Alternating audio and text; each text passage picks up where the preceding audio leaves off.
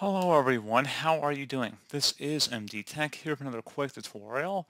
In today's tutorial, I'm going to show you guys how to remount a USB flash drive you ejected from your computer without physically removing and then reconnecting it.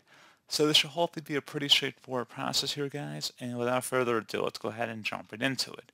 So, you might see a notification if you're going through Device Manager, it says that Windows cannot use this hardware device because it's been prepared for safe removal, but it has not been removed from your computer, followed by error code 47. To fix this problem, unplug this device from your computer and then plug it in again. So one thing, it's a very easy workaround that you can try to resolve this, would be to open up Device Manager if it's not presently open.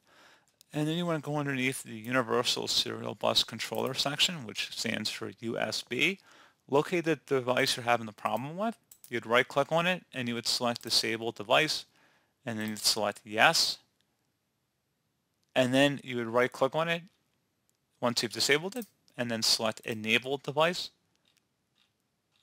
And there you go guys simple as that. So pretty straightforward process. If it's not working for you, you you probably selected the wrong device. Again it should be the name of your flash drive in here. It should be pretty obvious frankly I don't think it'll say generic USB hub. It'll probably say whatever your USB flash drive name is.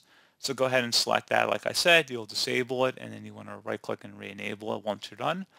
And that's it. So pretty straightforward process, guys. Do positive to help you out. And I do look forward to catching you all in the next tutorial. Goodbye.